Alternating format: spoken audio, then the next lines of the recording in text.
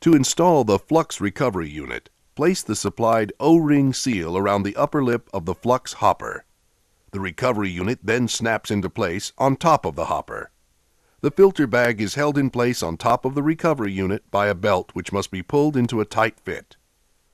The flux recovery nozzle is held in place by an adjustable guide arm attached to the contact tube with insulating donut halves secured by a threaded U-bolt.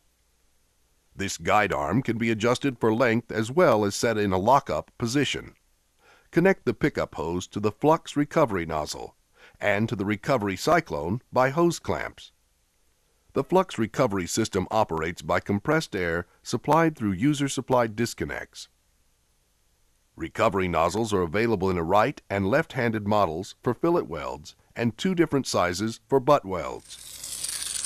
Flux recovery nozzles are designed to be dragged along behind the A2 Multitrac with the extended tab resting on the base metal.